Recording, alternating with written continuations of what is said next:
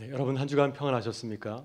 어, 무척 힘들고 어려운 시간들 또 믿음으로 어, 헤쳐나가겠어 어, 걸어가고 계신 줄 믿습니다.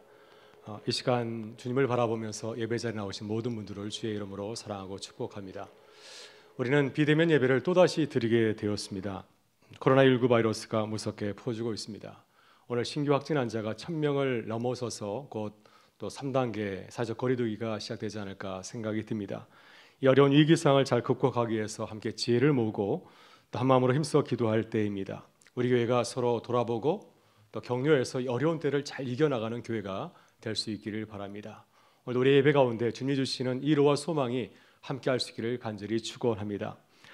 오늘은 다시 오실 주님을 기다리고 준비하는 대림절 셋째 주일입니다. 오늘 예수님과 세례자 요한이 나눈 대화를 통하여서 다시 오실 주님을 묵상하고 또 주님 주신 은혜를 함께 나누고자 합니다. 어, 여러분 세례자 요한은 신약 성서에서 매우 중요한 인물로 소개되고 있습니다. 사복음서에 모두 소개되고 있고요. 어, 그냥 이름만 소개되는 것이 아니라 세례자 요한의 사역과 삶을 아주 길게 또 구체적으로 소개하고 있습니다. 어, 무엇보다도 예수님의 공생의 사역보다도 앞서서 세례자 요한의 삶과 사역을 소개하고 있습니다. 이것은 그만큼 어, 세례자 요한과 예수님의 관계가 뗄래야 뗄 수 없는 아주 밀접한 관계임을 보여주고 있습니다. 어, 세례자 요한은 메시아의 기대가 예수님을 통해서 시작되었음을 알린 매우 중요한 인물입니다. 구약 성경 마지막 성경인 마태복음 바로 앞에 있는 말라기 성경에서 마지막 구절을 보게 되면 세례자 요한을 예언하고 있습니다. 보라 여호와의 크고 놀라운 날이 이르기 전에 내가 선지자 엘리야를 너에게 보내리니 그가 아버지의 마음을 자녀에게로 돌이키게 하고 자녀들의 마음을 그들의 아버지에게로 돌아키게 하리라. 돌이키지 아니하면 두렵건대 내가 와서 저주로 그 땅을 칠까 하노라 하시니라. 마태복음 바로 앞에 이 말씀이 기록이 되어 있습니다. 말라기 선자는 미시아가 오기 전에 어, 선지자 엘리야가 먼저 올 것이라고 말씀하였습니다. 마태복음 11장 14절을 보게 되면 예수님께서는 그 엘리야를 소개합니다. 그 엘리야는 다른 사람이 아니라 바로 세례자 요한이라고 하는 것입니다. 오리란 엘리야가 곧 이 사람이니라 주님께서 이렇게 말씀하였습니다. 말라기 선자 예언을 이룬 사람이 바로 세례자 요한이라고 하는 것이죠. 그래서 어, 이 세례자 요한은 예수님을 통해 시작된 메시아 시대의 도래를 알린 매우 중요한 인물이라 하지 않을 수 없습니다. 실제로 세례자 요한은 메시아 시대를 고대하였습니다. 또 메시아이신 예수님의 사역을 아주 철저하게 잘 준비하였습니다. 사복음서를 보게 되면 그는 예수님을 메시아로 사람들에게 소개하였습니다. 단순히 예수님을 소개한 것이 아니라 마지못해 소개한 것이 아니라 적극적으로 예수님이 아주 놀라운 능력을 가지신 메시아임을 사람들에게 증거하였습니다. 마태복음 3장 11절 이하를 보게 되면 세례자 요한이 예수님을 이렇게 소개합니다. 나는 너에게 회개하기 위하여 물로 세를 베풀거니와 내 뒤에 오는 이는 나보다 능력이 많으시니 나는 그의 신을 들기도 감당하지 못하겠노라. 그는 성령과 불로 너에게 세례를 베푸실 것이요 손에 키를 들고 자기의 타작마당을 정하게 하사 알곡은 모아 곡간에 들이고 쭉정이는 꺼지지 않는 불에 태우시리라. 어, 세례자 요한 또한 예수님에게 세례를 베풀었습니다. 예수님께서 세례를 받기 위해서 오셨을 때 처음에는 거절하였습니다. 그러나 주님께서 어, 세례를 받는 것이 하나님의 의를 이루는 것이라고 말씀하였을 때 주의 말씀에 순종하였습니다. 자신의 생각을 내려놓고 어, 겸손하게 주님의 뜻에 순종하였습니다. 그런 이렇게 예수님을 위하여서 모든 영을 아끼지 않았고 수고 원신을 아끼질 아니하였습니다. 그러나 오늘 본문에서 만나는 세례자 요한은 광야에 있는 것이 아니라 이제 헤롯의 감옥에 갇혀서 수감 중에 있습니다. 마태복음 14장에 따르면 헤롯은 동생 빌립의 아내를 빼앗았습니다. 이 헤롯은 헤롯 대왕의 아들로 헤롯 안디바를 가리키고 있습니다. 그는 첫째 아내 파사 엘리스와 이혼을 하고 빌립의 아내 헤로디아와 결혼을 하게 되었습니다. 율법은 그의 행동을 인정하지 않습니다. 율법에 따르면 형제 아내를 취하는 것을 용납하지 않고 있습니다. 그래서 헤로야는 헤롯 암디바의 그 비행을 어, 폭로하고 또 비난하였습니다. 그래서 마태복음 14장 4절 보게 되면 세례요한이 이렇게 말합니다. 당신이 그 여자를 취함이 옳지 아니하도다. 어, 헤롯이 가만히 있지 않겠죠. 그를 두려워해서 그를 감옥에 이제 가두게 되었고요. 또 헤로드의 딸의 요청대로 그를 이제 처형하게 되었습니다. 어, 세례자는 이렇게 사형 말기에 큰 고초와 고난을 겪게 되었습니다. 그런 감옥에서 이제 어, 자신의 삶을 돌아보면서 예수님을 묵상하게 되었고 공생의 사역을 돌아보면서 어, 갑자기 뜻밖의 질문을 던지게 됩니다. 그는 제자들 보내서 예수님께 이렇게 물었습니다. 오실 그이가 당신 이원이니까 우리가 다른 일을 기다리오리까 세 번째 성경은 이렇게 말씀하고 있습니다. 오실 그분이 당신이십니까? 그렇지 않으면 우리가 다른 사람을 기다려야 되겠습니까? 어, 세례요한이 예수님에게 질문하였던 오실 그이라고 하는 그 표현은 구약 성서에서 메시아에 대한 칭호입니다. 시편 118편 26절에서 이렇게 말씀합니다. 여호와 이름으로 오는 자가 복이 있으며 우리가 여호와의 집에서 너희를 축복하였도다. 시편 118편은 메시아 시편인데 메시아를 어떻게 표현하고 있습니까? 여호와 이름으로 오시는 이여, 어, 오시는 이여라고 표현하고 있습니다. 그래서 이 세례자 요한의 질문은 메시아에 대한 것입니다. 지금까지 세례자 요한은 예수님을 메시아로 보았는데 예수님에 대한 지금 믿음이 흔들리고 있는 가운데 있습니다. 정말 주님이 메시아인가 하는 것을 확인하기 위해서 제자들을 보내어서 이렇게 물은 것이었습니다. 여러분 세례자 요한은 지금까지 메시아 길을 준비하는 강야에서 외치는 자의 소리의 사명을 잘 감당하였습니다. 그런데 사형 말기에 이제 고난과 고초를 당하여서 어, 그 믿음이 흔들리고 있습니다. 영적인 침체와 해에 빠져 있습니다.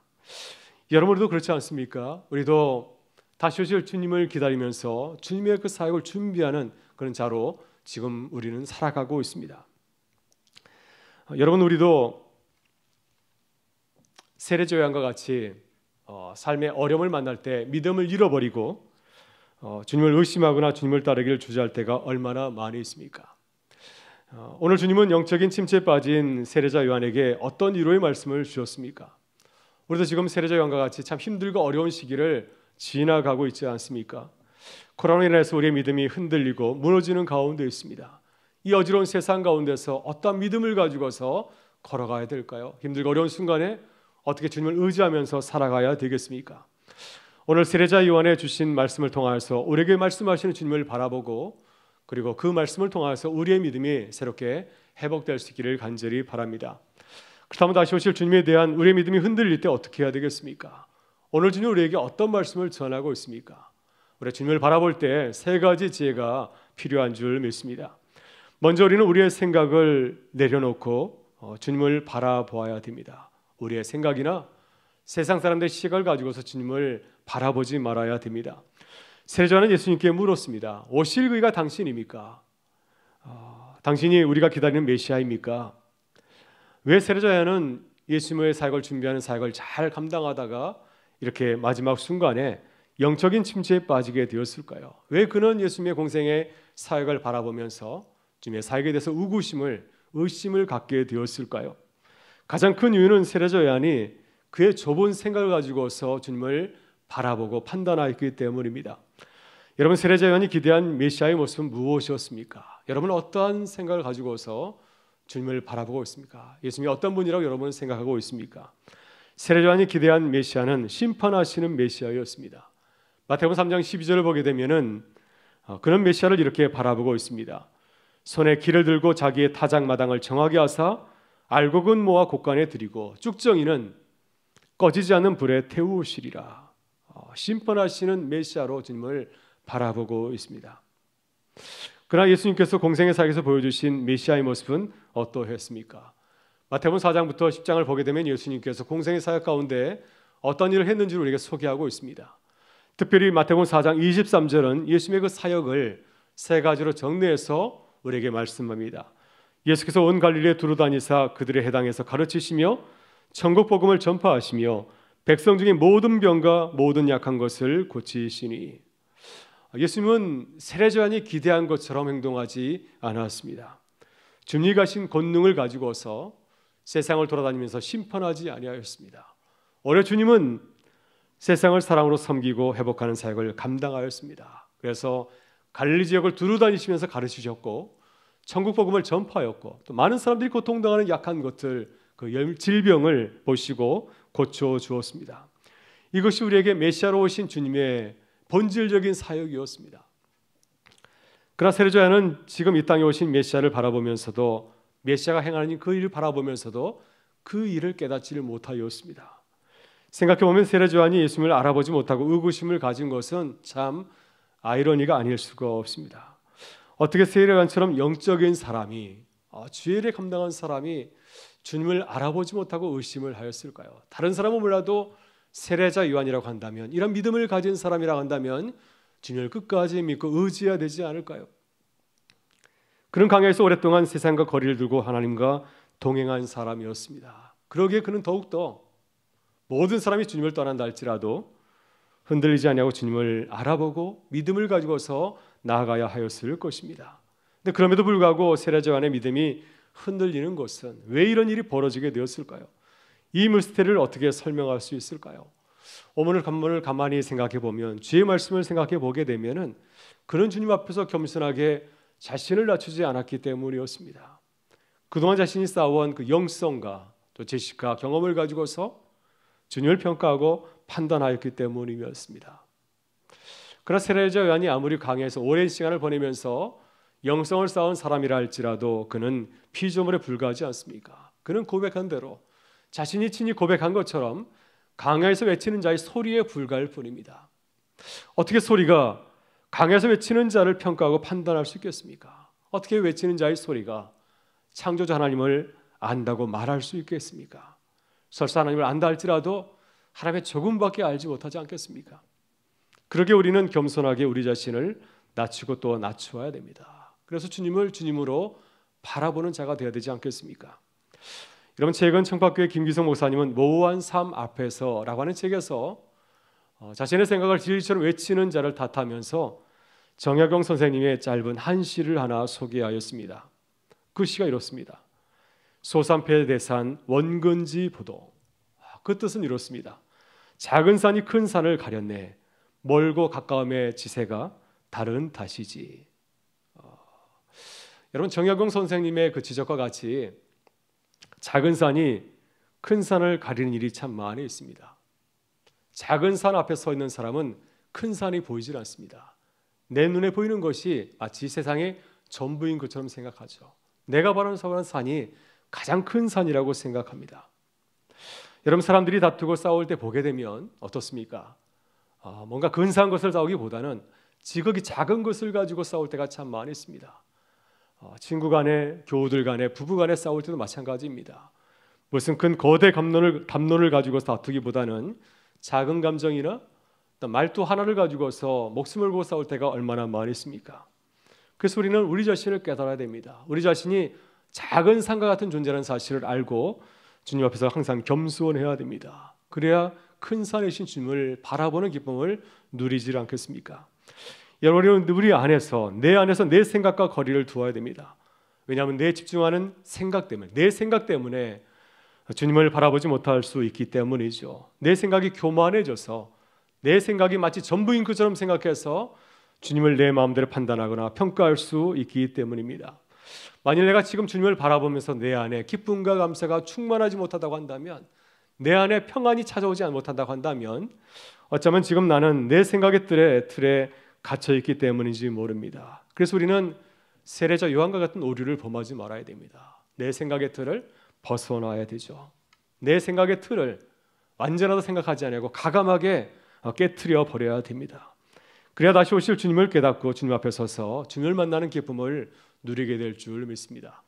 여러분 시편 131편에서 다윗은 하나님 앞에서 자신의 모습을 솔직하게 비유로 고백을 하였습니다. 내 모습이 젖된 아이와 같다고 하는 것입니다. 실로 내 영혼으로 고유하고 평온하게 하기를 젖된 아이가 그의 어머니 품에 있음 같게 하였나니 내 영혼이 젖된 아이와 같도다. 여러분 우리 자신이 하나님 앞에서 젖된 아이와 같이 아, 그런 순전한 모습으로 겸손하게 서실 수 있기를 바랍니다. 겸손하게 우리 무지와 무능을 인정하고 고백하실 수 있기를 바랍니다. 그래서 주 안에 주님을 온전히 바라보면서 주님 은혜에서 기뻐하는 우리의 삶이 될 수 있기를 주의 이름으로 축원합니다. 여러분 우리는 어, 주님에 대한 의심과 회가 찾아올 때 솔직하게 고백하고 질문해야 됩니다. 이것이 두 번째 우리의 모습입니다. 세례자 요한은 메시아로 오신 예수님의 정체성을 의심하는 질문을 하였습니다. 오실 그분이 당신이십니까? 당신이 정말 우리에게 오신다고 말씀하였던 바로 그 메시아이십니까? 예수님은 이러한 어, 낮은 믿음을 가지고 나오는 세례자 향해서 어떻게 대답하였습니까? 본문 4절과 5절에서 예수님은 이렇게 대답하십니다. 너희가 가서 듣고 보는 것을 요한에게 알리되 맹인이 보며 못 걷는 사람이 걸으며 나병한 자가 깨끗함을 받으며 못 듣는 자가 들으며 죽은 자가 살아나며 가난한 자에게 복음이 전파된다 하라. 여러분 예수님은 세례 요한의 그 질문을 듣고서 그를 정지하거나 또는 비난하지 아니하였습니다. 주님 친절하게 세례 요한이 알아야 될 말씀을 잘 전해 주었습니다. 주님의 말씀의 뜻은 무엇인가요? 이 말씀의 뜻이 무엇입니까? 주님의 사역을 다시 한번 진지하게 바라보라고 하는 것입니다. 너희 좁은 눈으로 판단하지 말고 하나님의 말씀에 비추어서 주님의 사역을 한번 살펴보라고 하는 것입니다. 이사의 말씀을 묵상하면은 예수님의 사역이 이사가 예언한 메시아란 하시는 것을 분명히 알 수 있기 때문입니다. 이사야 35장 5절 6절에서 주님이 이렇게 예언하셨기 때문이죠. 그때 맹인의 눈이 밝아질 것이며 못 듣는 사람의 귀가 열릴 것이며 그때 저는 자는 사슴같이 뛸 것이며 말 못하는 자의 혀는 노래하리니 이는 강야에서 물이 솟겠고 사막에서 시내가 흐를 것임이라. 여러분은 세례자 요한의 질문과 예수님의 대답에서 지혜를 배워야 될 줄 믿습니다. 여러분 세례자 요한은 자신의 무지를 솔직하게 인정하고 고백하였습니다. 그는 예수님에게 묻지 아니하고 스스로 대답할 수 있습니다. 예수님에 대해서 모든 것을 아는 것처럼 생각하고 행동할 수 있습니다. 그러나 그는 솔직하게 자신의 무지를 인정하고 고백을 하였습니다. 아, 이 점이 세례자 요한의 아, 위대한 점이라 할 수가 있습니다. 주님은 이 세례자 요한을 칭찬하신 것도 이러한 모습을 가지고 있었기 때문에 그를 높이 평가하고 칭찬하였을 것입니다. 여러분 당시 세례자 요한은 이스라엘에서 가장 큰 영적인 지도자였습니다. 온 이스라엘이 그 앞에 나와서 그에게 세례를 받지 않았습니까? 예수님도 세례자 앞에 나와서 세례를 받을 정도였습니다.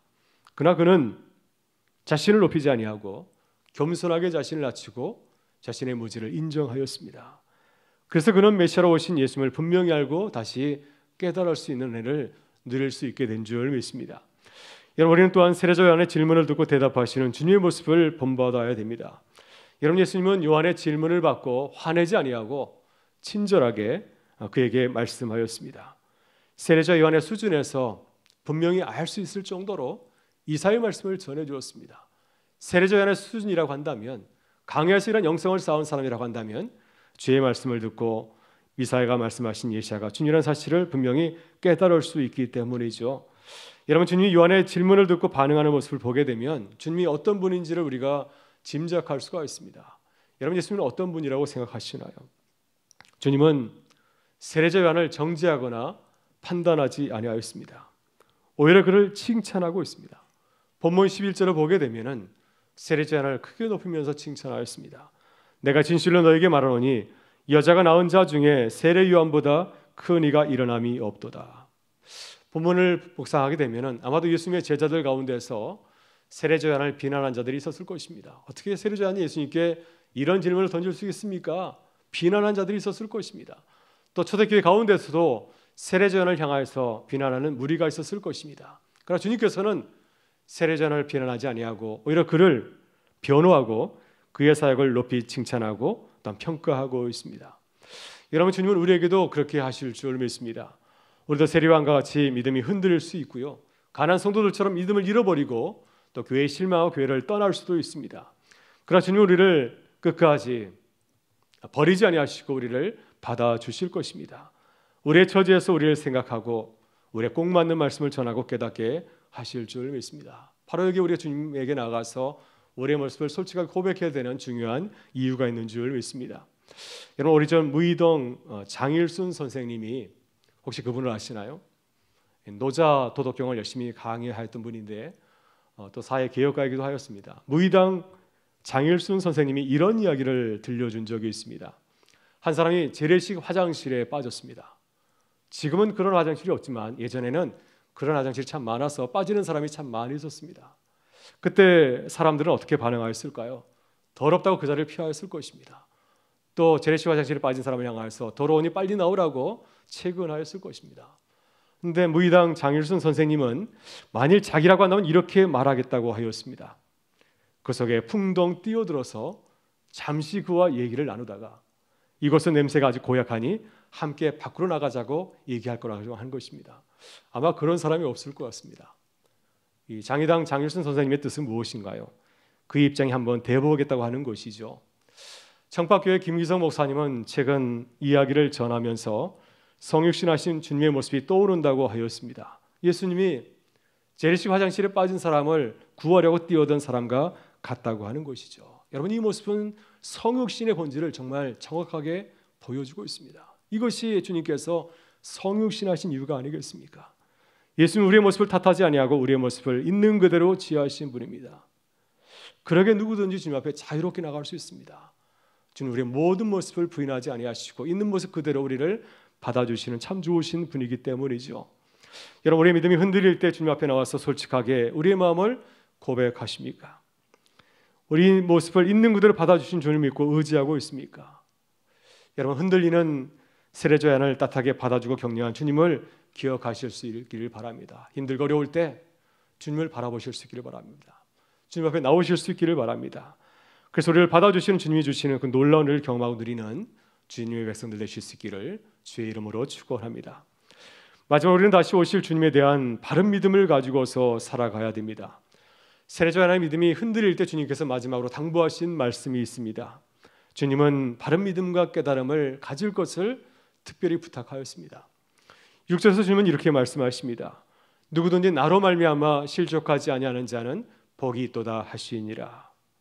오늘 본문에서 세례자는 감옥에서 두려워하고 불안한 마음을 가지고 주님에게 질문을 던지고 있습니다. 오실 그분이 당신이십니까? 이 질문은 세례자의 마음을 잘 표현해 주고 있습니다. 왜 세례자는 감옥에서 불안한 마음을 갖게 되었을까요? 왜 예수님에 대해서 의구심을 갖게 되었을까요? 이제 곧 헤롯에 의해서 죽임을 당할 자신의 운명을 직감하였기 때문이겠습니까? 물론 죽음의 공포가 세례자에게 큰 영향을 끼친 것이 사실입니다. 그러나 보다도 근본적인 것은 메시아이신 예수님에 대한 흔들리지 않는 믿음과 신뢰하는 마음을 잃어버렸기 때문이었습니다. 그래서 주님은 세례자를 향하여서 믿음을 다시 붙잡을 것을 당부하고 있습니다. 나로 말미암아 실족하지 않은 자는 복이 있도다. 주님 주시는 기쁨을 다시 회복할 것을 당부하고 있습니다. 믿음을 회복하게 될 때 주님 주시는 그 기쁨과 감사를 누리는 삶을 살아갈 수 있기 때문입니다. 오늘 본문 6절에서 주님은 실족하다는 동사를 사용하고 있습니다. 신약 성서에서 믿음과 관련해서 자주 등장하는 단어인데 헬라어로 스칸달리조라고 하는 단어이죠. 이 말에서 스캔들이라고 하는 영어 단어가 나왔습니다. 이 단어의 일체적인 뜻은 걸리게 하다, 넘어지게 하는 뜻을 담고 있습니다. 신약 성서에서는 이 단어를 주님을 믿지 못하게 하다, 죄짓게 하다, 범죄하게 하는 뜻으로 사용하고 있습니다. 매우 부정적인 뜻을 담고 있습니다. 성도들에게 주의와 경고를 전하고 있습니다. 성도들이 그리스도에 대한 믿음이 흔들릴 때 그 약한 믿음 때문에 이렇게 믿음을 잃어버리고 범죄할 수 있다고 하는 것입니다. 이것이 모두 믿음이 바로 서지 못할 때 일어난 문제이기 때문이죠. 그래서 우리는 예수님에 대한 믿음을 늘 새롭게 해야 됩니다. 매일같이 우리의 믿음을 점검하고 확인해 보아야 됩니다. 주님 오실 그 날까지 우리 매일같이 우리의 믿음을 항상 점검하고 확고하게 세워야 될 줄 믿습니다. 감리교를 시작한 존 웨슬리를 새롭게 태어나게 한 아주 중요한 일화가 있습니다. 굉장히 유명한 일화이기도 한데요. 1735년 10월 14일 존 웨슬리는 어, 신대륙 미국의 원주민들에게 복음을 전하기 위해서 이제 영국을 떠나게 되었습니다. 아, 그가 탄 배는 미국에 도착하기 10일 전 1월 23일 큰 풍랑을 만나서 흔들리게 되었습니다. 많은 사람들이 비명을 지르고 그리고 두려워하였습니다. 그때 그 배에 타고 있는 독일 출신의 모라비안 교도들은 평온하였습니다. 그들은 신중하고 겸손하고 온유한 마음을 가지고서 겁에 질린 다른 승객들을 돌보았습니다. 1월 25일 세 번째 풍랑이 닥치자 사람들은 더 큰 공포심에 사로잡히게 되었습니다. 그때 저녁 7시가 되었을 때 이제 어, 존 웨슬리는 모라비안 교도들의 집회 장소에 가보았습니다. 누군가 시편을 낭송하게 될 때 다시 큰 파도가 일어서 큰 도태가 부러지게 되었고 피아노는 이제 와수라장이 되었습니다. 그러나 보라비언 교도들은 고요히 찬송을 불렀습니다. 나중에 웨슬리가 이제 잠잠해졌을 때 그들 중에 한 사람이 물었습니다. 두렵지 않습니까? 그때 그가 대답하였습니다. 두렵지 않습니다. 오히려 주님에 감사할 뿐입니다. 다시 물었습니다. 그러나 당신의 부인들과 아이들은 두려워하지 않겠습니까? 그때 이 모라비언 교도가 다시 대답하였습니다. 아니요, 우리 아내들과 아이들은 죽음을 두려워하지 않습니다. 이 모라비언 교도들에 대한 그 경험이 존 웨슬리를 새롭게 거듭나게 하였습니다. 존 웨슬리도 살아가면서 숱한 어려움을 만났지만은 모라비안 교도들과 같이 두려움과 절망을 잘 이겨내었습니다. 주님을 온전히 믿고 또 주님께 모든 것을 맡기고 의지하는 믿음의 사람으로 새롭게 거듭났기 때문이었습니다. 여러분 오늘 우리는 감옥에 갇힌 세례자 요한처럼 코로나라고 하는 감옥에 갇혀서 살아가고 있습니다. 오늘 우리의 마음은 어떠십니까? 혹시 불안한 상황을 바라보면서 걱정하고 염려하고 있지는 않습니까? 오늘 주님 우리에게 이렇게 말씀하십니다. 나로 말미암아 실족하지 않는 자는 복이 있도다. 여러분 어려운 상황과 힘든 상황이지만 더욱더 주님을 신뢰하고 의지할 수 있기를 바랍니다. 또 어, 흔들리는 우리 가족들, 교우들, 이웃들을 바라보면서 주의 말씀으로 또 위로하고 격려하시는 주님의 사람들이 되실 수 있기를 바랍니다. 그래서 이 어려운 위기를 믿음으로 극복해 나가는 교회와 성도가 될 수 있기를 주의 이름으로 축원합니다. 이제 우리 함께 찬양하며 나아가겠습니다.